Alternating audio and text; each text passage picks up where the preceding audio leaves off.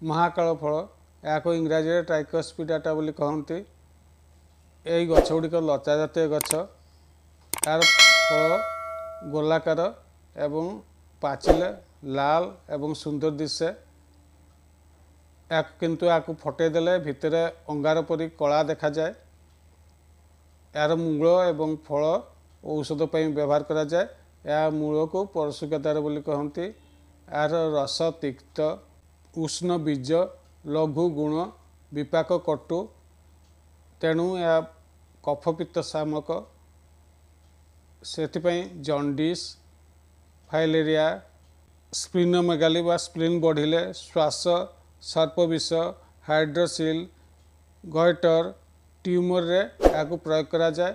ଏହାର କିଛି ଘରୋଇ ଉପଚାର ରହିଛି। ସେଥିମଧ୍ୟରୁ ଏହାର ମୂଳକୁ ପାନ ସହିତ ଖାଇଲେ ସର୍ପବିଷ ନଷ୍ଟ ହୁଏ। ଏହା ମୂଳକୁ ବାଟି ଜଡ଼ା ତେଲ ଫୁଟେଇ ସେଇ ତେଲ ଦୁଇ ଚାମଚ ଲେଖା କ୍ଷୀର ସହିତ ଖାଇଲେ